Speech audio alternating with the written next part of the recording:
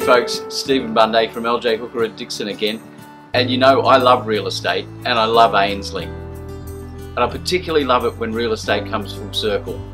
I sold this house to Maury and Sheila 18 years ago as a brand new home with no gardens.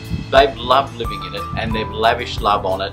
They've built the gardens from scratch and I think you're going to like it just as much as they have and as I do. Let's go and take a look. Come on. So even though the address is 20A Bonney Street, it's certainly not a dual occupancy. It's in excess of 800 square metres of lovely flat but landscaped Ainslie land and the numbering is just a throwback to the 1930s. It's freestanding and of course it's separately titled. The house is over 200 square metres of living, which is rare for Ainslie and there's great spaces. The kitchen's big and beautifully appointed. The floor plan's really sensible for a family with a segregated main bedroom and there's tons of storage too. One of the things that I didn't expect to find the first time that I sold the house was actually a third living area, a rumpus room at the rear. How good is that?